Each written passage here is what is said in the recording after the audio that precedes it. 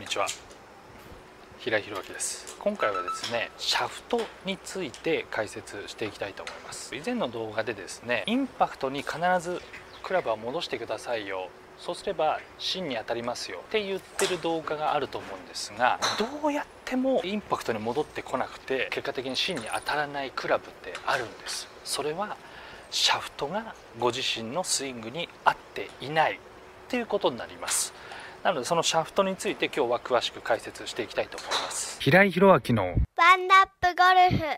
まずですねシャフトの役割というのは何かって言ったら一つしかないんです。シャフトの役目役割というのは芯に当たるかどうかしかないんです。その一つだけですね。ざっとこう世の中にこう何千本ってシャフトがあると思うんですがまあ同じ長さで同じヘッドをつけて機械が打ったら全球同じ距離なんです。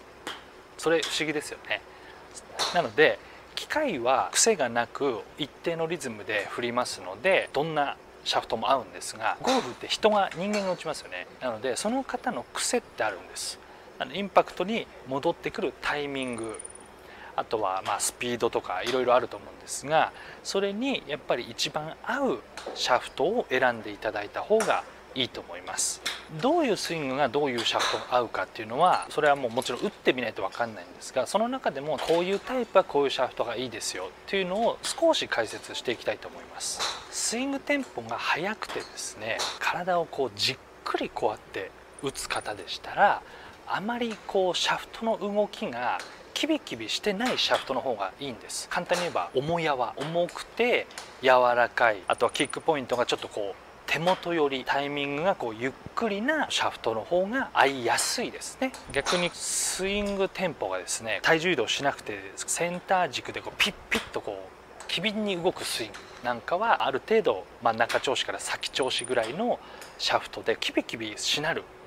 シャフトの方が合いやすい感じですね。なのでもちろんスイングタイプによってこう本当打ってみないと分かんないんです。なのでシダとかでですねいろんな銘柄のシャフトを打っていただいた方がいいですかね。打つポイントなんですが先ほども言いましたこうシャフトって自分のインパクトのタイミングにうまくパチンとまっすぐ戻ってくるかどうかだけですのでそれの戻ってきやすいシャフトを選ぶイコールシダした時も芯に当たりやすいシャフトの方がいいんです。何回打ってもなかなか芯に当たらないとかですね10球目とかでやっと芯に当たるっていうのは自分がそのシャフトクラブに対応して打ってるのであまり参考にはなんないです。できればご自身がもういつでも打てますよと体が温まった状態でクラブの情報をゼロで初めて打つシャフトでしたらそこで打っていただいて23球で十分です。できれば12球ぐらいがいいんですが最初からバチンと芯に当たるクラブって必ずあるんです。そういうシャフトを見つけていただいてこう打った方がいいですね。もちろんヘッドとのマッチングもありますのでいろんなヘッドに対して打っていただいた方がいいですね。あとはですシャフトというのは自分の思いボールに対しての思いを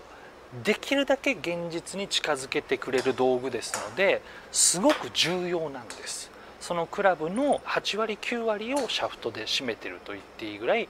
大事なパーツですのであまりこうおろそかにせずまあとりあえずシャフトはついてればいいやではなく必ずこうシャフトなり選んでいただいてそれに対して自分がそのシャフトが合ってるかどうかという判断を必ずしていただいた方がスコアに結びつきますのでそのジャッジですよねをしていただいた方がいいです。もちろん使いたいシャフト気に入ったシャフトあとはこう見た目がかっこいいシャフトとかってあると思うんですがそれ以上にやっぱり打っていただいていいものはいいという判断をしていただければと思います。ではですね今回いろいろシャフトについて話させていただきましたがもちろんこれってアイアンもそうなんです。一括りにスチールといってもいろんなスチール重さだったり硬さキックポイントがありますのでウッド同様